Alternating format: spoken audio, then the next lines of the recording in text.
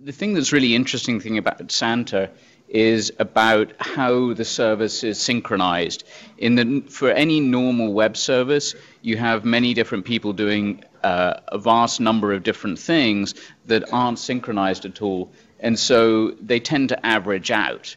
Um, with Santa Tracker, it's unusual in that you have you know, millions and millions of users doing exactly the same thing. So as one user spikes or put it, puts in an expensive request, you've got several million others doing, doing the same thing at exactly the same time. Um, so for those who don't know it, uh, this is what it basically looks like. It allows children to follow Santa as he flies around the world, uh, either if you're young or just young at heart. And we have two versions to it. Uh, one uses the Google Earth plugin, as you see just there, with animated Santa flying around, and then the second version uh, using Google Maps um, for those platforms or devices that don't support the plugin. And uh, as you can see, is Santa has got his work cut out for him to sell as well. Delivers about 2 billion uh, presents over the course of 24 hours and about 800 million cookies. Yeah, well, that's what he's eating. So that was a 1.6 million QPS. Um, the main takeaways from the talk, actually, that I thought would be useful to summarize um, was that for a synchronized activity, you can expect to have uh, some spiky behavior. And so it's really understanding that and spreading the load that is the essential thing that we've done over several years to make it more reliable and easier to manage. And so um, originally we had problems where the, uh, the spikes were much larger than we anticipated and they weren't spread enough. Um, the other thing, of course, cache everything. Uh, the third thing, unfortunately, we've got this, is kind of an escape valve. It's very hard to estimate QPS for an event that happens once per year. Um, so you need to make sure that you have some escape mechanism so if traffic is higher than expected, that you can uh, deal with it via other means. And then the last one is to check data because any mistake that you make is magnified by the large audience that you have. Um, so the for the Earth client, what happens is that it jitters where the user is looking um, plus or minus two minutes. So that basically uh, when you load the uh, when you load the Earth plugin version multiple times, Santa will be slightly ahead or behind of the Maps version. Um, but this means that the that any spike is spread over a much larger period. Where this most commonly occurs is when you transition from ocean to land. When you're going over ocean, the QPS is relatively small. When you transition to land, it becomes much higher. So we need to make sure that that happens gradually rather than all in one go. And the, the other thing is that you've got to find every single case where some spiky behavior occurs. Um, we've missed issues in the past, and uh, it's always come back to bite us. Um, so talking about caching everything, the original design for this when I first joined four years ago had actually dynamic server-side code in it. And so depending on the time, it would serve a slightly different file. And that meant that it was quite difficult to develop, deploy, and test this because you have to make a um, uh, like code change for any code change and push a binary to do that. Um, and also it meant that if you had any issues, it was difficult to adapt it uh, uh, in real time. So over the over the last several years, basically it got to the point. Oh, it is. That's the search. Uh, like the search. Like the query. If, okay. All right. okay. Um, so so steadily over the years, we've replaced all of that dynamic server-side behavior so that now the service runs completely on static files. There is no um, code run server side at all. And essentially, basically, you're pushing the complexity into the browser using JavaScript and the plugin, which allows you to have a very rich experience, but to be a fairly um, a much simpler architecture to allow this higher QPS. And it's much easier to test and deploy this, and it's also much easier to cache it as well, um, because you can use edge caching from GFE, and you can, or um, in ISPs or elsewhere in the stack. Um, this is an example of where you, what happens when you don't cache something. Um, this was something where we actually set the cache control headers incorrectly for uh, um, a flash file that used to be on the site years ago. And the initial spike that you see just here is when the client, uh, when it reaches midnight, it will refresh the page and start loading the um, functionality which tracks Santa. And so there's a big spike at that point. That is somewhat to be expected. Um, and we've done things in the future where we just say, don't refresh immediately, but just refresh over a random 30 second interval. But what happened afterwards was that this SWF file, because the caching wasn't set incorrectly, it was periodically refreshing every five minutes. And then as soon as you fix the caching, it dies away to something that's perfectly normal. And fortunately, this was, you know, uh, done using a static service, static uh, content service, which means that it can handle a fairly high QPS. And so this didn't end up causing an issue, but it's the kind of thing that we have to guard against. Um, so one of the questions is, though, is how does the route get updated in real time? Um, if you imagine that of course, we don't actually know exactly where Santa is going to be. And so, you know, in collaboration we, with NORAD, we uh, get updates and then show that to the audience. Um, but there's via a mysterious mechanism we don't quite understand, Santa is able to update these static files for us. Uh, we haven't figured out yet how he's doing this. Um, there is some questions about, you know, whether he's doing it um, in a uh, sort of like a, um, a sort of a good manner, or if he's a black hat Santa.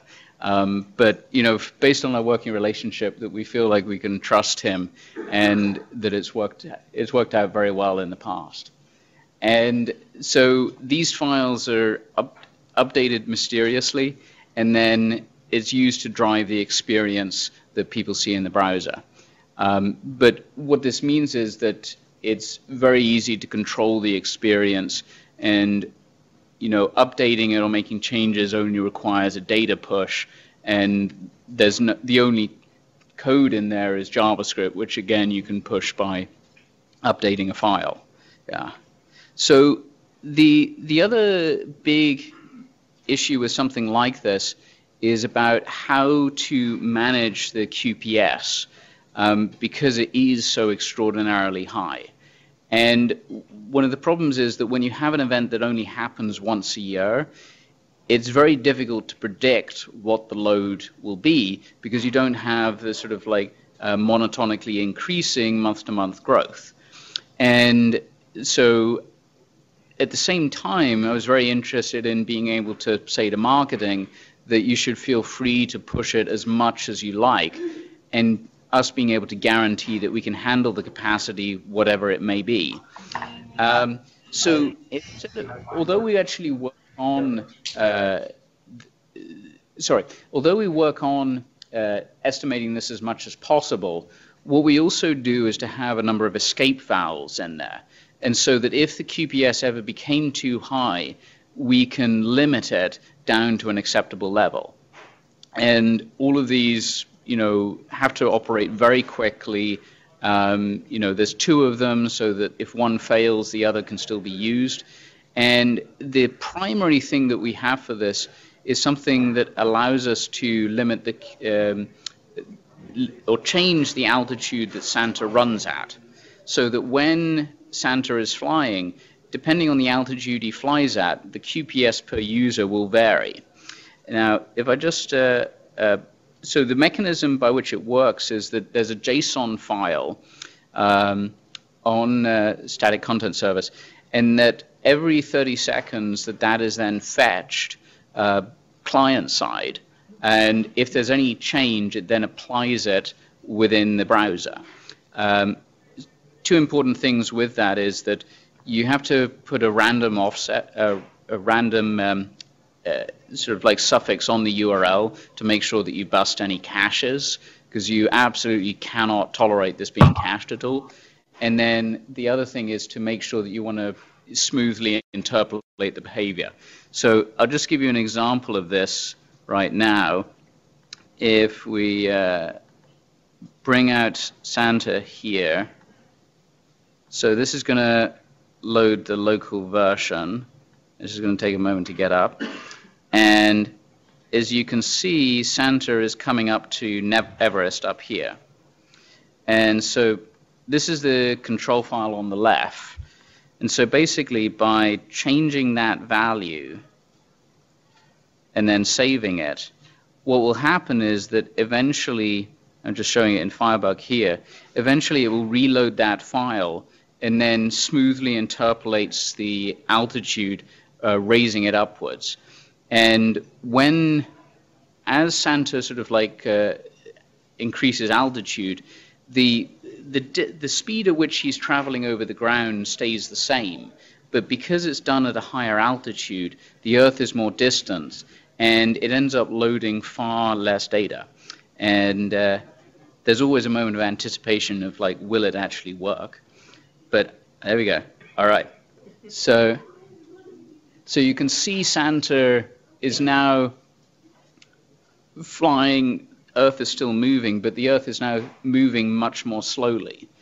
And so at any given moment, we can, you know, trade off the QPS and user experience to make it uh, to make it sort of like uh, possible for backends to handle it.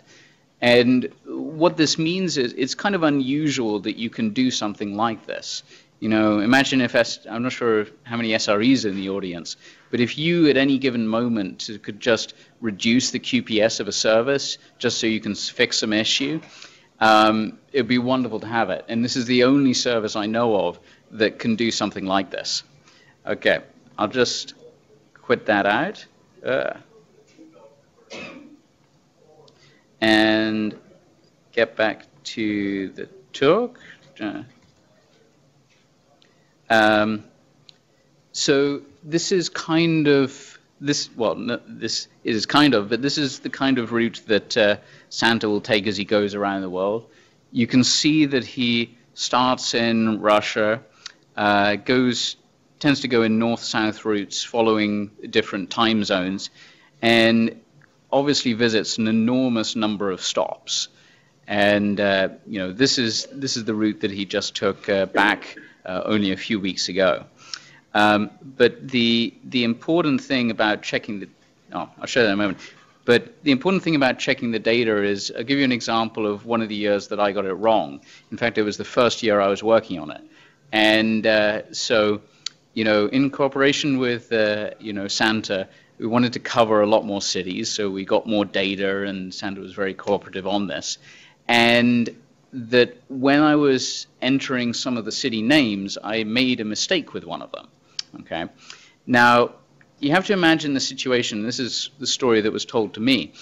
Uh, in the headquarters of Santa tracking operations is at NORAD in Peterson Air Force Base in Colorado Springs.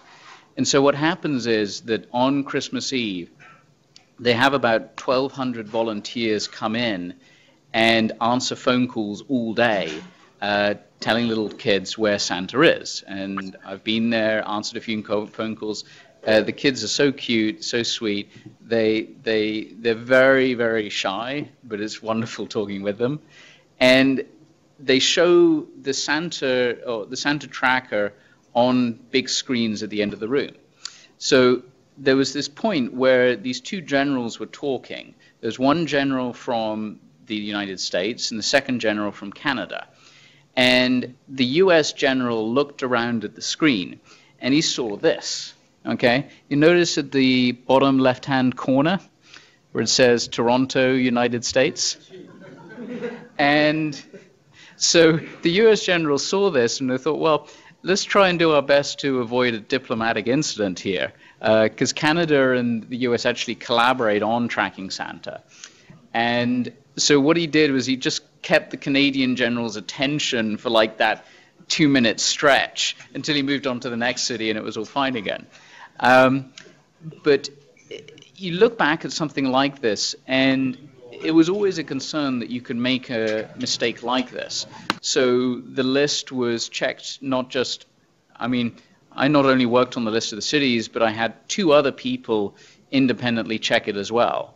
And unfortunately, that we corrected some mistakes in it, but we didn't catch this one. And so on the day of the event, I was looking through all of the emails to send personal replies to everyone um, apologizing for the error, you know, explaining what happened, and promising that we will not invade Canada ever again. Um, and so, fortunately, we have a, a, fair amount of goodwill for the service, so it uh, it didn't uh, it didn't escalate to a diplomatic diplomatic incident. Um, the other things that um, are notable about Google actually uh, is interesting to share is that one of the reasons that we can do this is that during Christmas time, there's a global trough of traffic. I mean, this happens not just with us, but just about any other internet company. And so it means that we have extra capacity for handling something like Santa. And the, the teams involved are also, I mean, there's a lot of people have shown a lot of generosity in making all of this happen. I mean, we have people working on this in Mountain View, um, San Francisco, Zurich, uh, Sydney, and uh, Boulder, uh, Boulder, Colorado. And it's it's the sort of like uh, camaraderie and generosity that makes all of this possible. Um, you know, it's a lot to ask somebody to say that you know I need you to volunteer for something. This is not your job. Um, and we're going to do something that's technically very demanding and you're going to be on call on Christmas Eve. You're probably going to have to be online on Christmas Eve to watch it all and make sure it works out. But we, um, I feel very grateful to everyone for committing to help out with that. And uh, it's been a, a, wonderful, wonderful experience to have. Okay. And so that that despite what you might do, there's always going to be some surprise. Uh, this is one of my favorite ones that happened a number of years ago. Um, so, paraphrasing this, it says, Good evening and Merry Christmas. I'm an immigration officer and customs officer in Los Angeles, California, working on Christmas Eve. And it goes on, and it says, Where does Santa report his entry and his declare his merchandise? Does he have special visa that allows him not to present himself and a waiver to present the merchandise uh, for inspection? Uh, we were just wondering. And this is a Customs Border Patrol officer. and uh, and uh, you know it's now I think three years later, and uh, and uh, we we haven't drafted a response yet, and, and unfortunately the issue seems to have been dropped. Okay. And so for, for that part, I, I wanted to open it up to questions, and then I'll have some more stuff afterwards. All right. Hello. Yes. Are you serving it only from the U.S. or from multiple Yeah. So the serving happens worldwide. Um, and you know, like many Google services, it's just um, it's distributed it's distributed geographically so that you can get uh, a better latency depending on where the, the user is. Um, the other big thing about it is that most of the load of this is borne by the edge caches of Google. And so that you know your edge cache can serve data from almost anywhere and it only has to make a limited number of requests back to the uh, uh, Google Earth backends to actually fetch the data.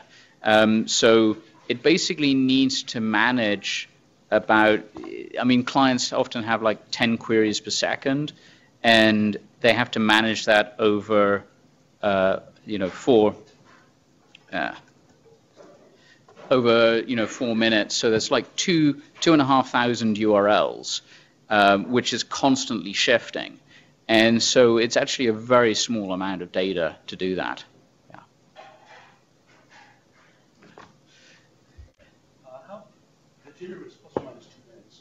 Yeah. How, how more narrow can you make it? Ah, right. Okay. So the question was about the jitter is uh, plus minus two minutes now and how much narrower we can make it. Um, we do get feedback from people talking about how they notice that the Earth Earth plugin doesn't quite match up with the Maps uh, version, and that one of the things is that as over the years as we pushed more and more push to use the edge caching more and more, it means that we can handle uh, more QPS and spikier behavior. So as we reduce the jitter, it would become more spiky, and that the answer is that we'll probably re- start reducing it as of next year. Um, but that's going to be a question for the new tech lead who's working on it. Yes. That would be that would be a talk. Thank you. All right. Yes.